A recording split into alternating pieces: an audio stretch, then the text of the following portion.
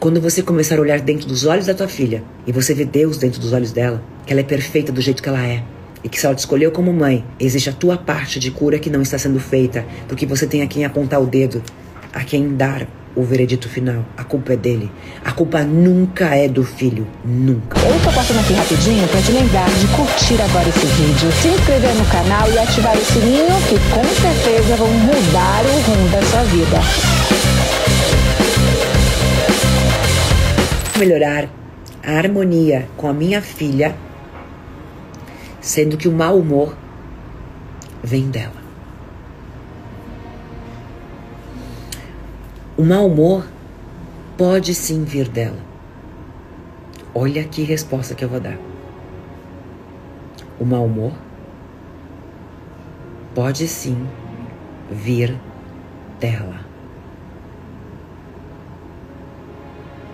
Mas somente você pode alimentar ele. Puta que pariu. Como você se sente com mau humor do teu filho, do teu marido, do teu chefe. Indignada. Puta da vida. Mal-humorada. Frustrada. Então limpa isso. Porque a forma como você se sente está aumentando o mau humor dele. O mau humor a negatividade, o pessimismo, ele precisa ser retroalimentado. Puta que pariu. Vou repetir. Um comportamento do teu chefe, do teu marido, da tua esposa, da tua mãe, do teu pai, do teu filho, não importa quem seja. Somente pode existir se retroalimentado. Você e ele a tua filha emana um mau humor, lógico que você devolve pior ainda. Pergunta como é que eu sei. Um mais um é quanto? Dois. Isso é o que? Matemática. Tá bom, isso aqui também é. O teu chefe te trata de, de uma forma negativa, frustrante. E você? Como está a tua cabeça, o teu sentimento? Querendo matar ele? enterrando ele no caixão, no velório dele? Como que você fala com os teus colegas na hora do almoço, do café? Qual é o assunto principal? E o teu marido? Quando você vai dormir, teus pensamentos, tuas frustrações, isso é retroalimentar. Tudo aquilo que você pensa está retroalimentando o comportamento seguinte. Bingo. Até você mudar.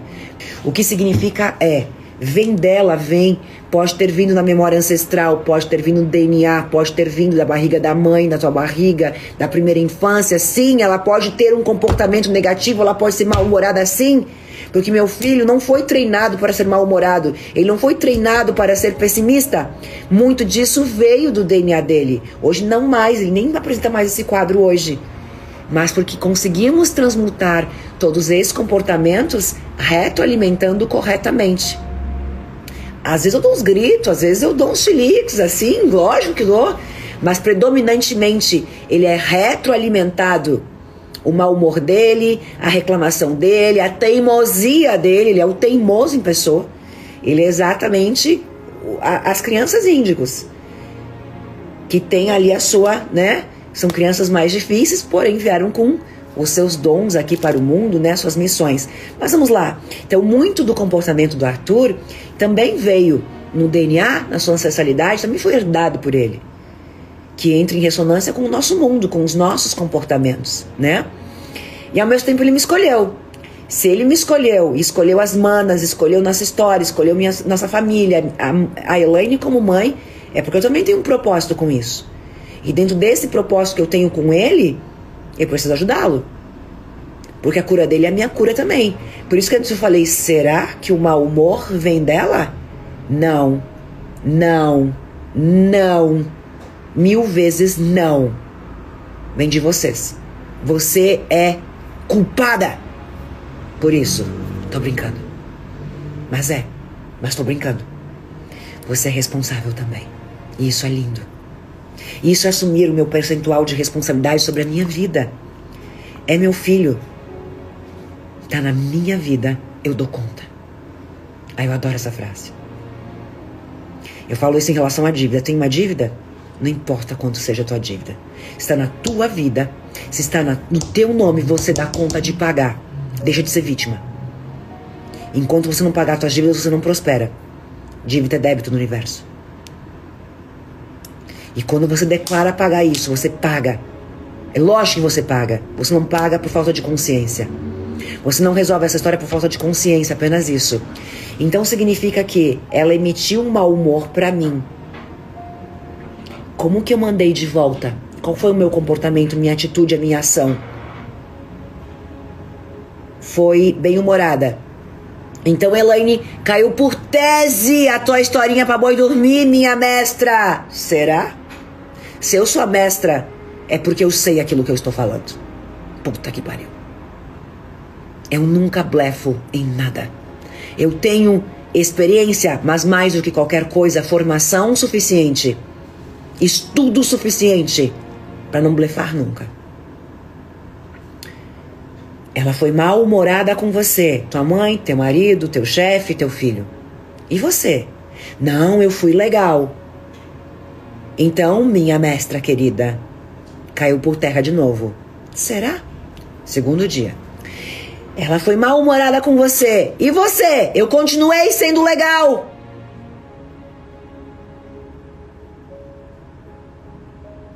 Será? Ela foi mal-humorada com você. E você? Eu continuei sendo bem-humorada, continuei acolhendo, conversando. Mais uma semana se passa. Ela foi mal-humorada com você. E você? Tô de saco cheio. Puta que pariu. Não aguento mais isso. Ela foi mal-humorada com você. E você? Onde eu quero chegar? Você ser legal uma vez não quer dizer bosta nenhuma. Você ser legal duas vezes, três vezes, cinco vezes, o que tem de mérito nisso? Não tô nem te entendendo onde você quer chegar. A retroalimentação vem da consistência. Predominantemente, quem é você de verdade? Quem é o teu eu sou? Você ser legalzinha um dia? Dois dias? No outro você está batendo, gritando, chorando, bestemando, falando mal, reclamando, falando pra vizinha, pro periquito, papagaio, mal teu filho? Quando você alcançar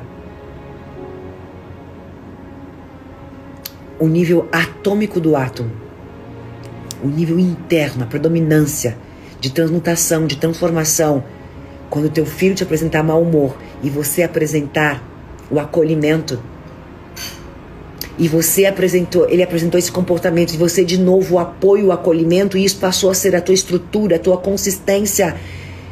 Não tem como ele te devolver mau humor, porque o que está indo de você é o bom humor. Ele vai receber essa frequência. Por que ele não recebeu no primeiro, segundo e terceiro dia?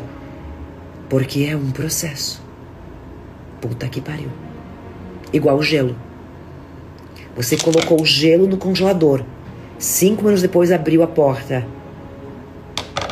Virou gelo? Não. É um processo. É um processo de mudança atômica, de mudança de temperatura, de estado líquido para gasoso, metaforicamente falando. É um processo onde você precisa manter a consistência. Por isso que se você falar hoje, eu sou rico, você é rico amanhã? Lógico que não, e nem nunca vai ser. Imagina a Elaine que é milionária. A Elaine fala: Meu Deus do céu, quanto dinheiro eu gastei, eu vou ficar pobre. Eu tô pobre amanhã? Não! Se eu vibrar na pobreza durante um ano, talvez eu comece a piorar. O que eu quero dizer é que precisa de dedicação para mudar o comportamento retroalimentado por você do teu filho. Precisa de dedicação para você ficar rico. Não é falar um dia, dois. É ter certeza que é isso que você quer, não importa o que aconteça. Por isso não importa se algo ruim ou bom acontecer. Eu estou determinada, eu estou confiante, sai da frente que eu vou passar. Mudou tudo, né? Tá nesse nível? Ou tá aí com vítima não vítima, vítima não vítima, vítima não vítima, vítima não vítima? Assim como você precisa de muita dedicação e esforço para ficar pobre. Você não fica pobre de um dia para o outro, nem de seis meses para o outro. Você precisa fazer muito esforço para acabar e falir com a tua vida. E se tua vida está acabada e falida, não bota a culpa em nada e em ninguém. É responsabilidade tua. Por quê? Porque você se dedicou muito, mas muito para isso. Não é de um dia para o outro. De um mês para o outro. Seis meses para o outro. Nove meses para o outro. Pelo menos um ano você vibrando todos os dias. Na vitimização, no fracasso, no coitadinho Aí aconteceu uma coisinha, perdeu o emprego. Não foi o emprego que te faliu, você já era falido. O emprego foi só uma consequência que ativou, que validou ainda mais como você já se sentia. Puta que pariu. É isso. Então, quando você começar a olhar dentro dos olhos da tua filha e você vê Deus dentro dos olhos dela, que ela é perfeita do jeito que ela é, e que se ela te escolheu como mãe, Existe a tua parte de cura que não está sendo feita, porque você tem a quem apontar o dedo, a quem dar o veredito final. A culpa é dele. A culpa nunca é do filho. Nunca. Nunca é de ninguém. A responsabilidade sempre é minha. Eu não tenho poder sobre o outro, mas sobre o que ele provoca em mim, eu tenho. Minha filha não pode me deixar triste. Não pode me afetar. Eu que me afeto. Eu que me entristeço. Porque entre nós existem memórias que estão sendo compartilhadas que estão gerando essa situação. Quando eu limpo o campo e eu transmito muito amor, genuinamente eu faço a minha parte. Eu acolho, eu converso, eu dou meu amor mesmo quando, quando eu quero dar uns tapas. Eu vou mudando a vibração que existe aqui nesse campo, aqui no meio. Esse campo é de energia. E essa energia entre eu e ela está tomada de coisas ruins que saíram do meu pensamento, do meu sentimento, da minha frustração, do meu fracasso, das minhas expectativas, da minha vitimização. Que lindo, né?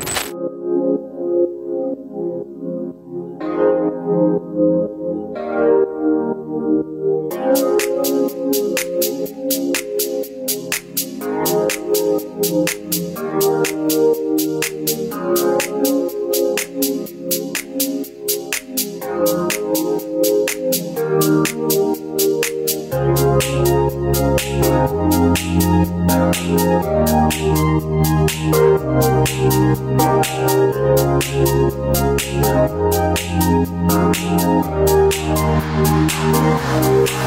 right back.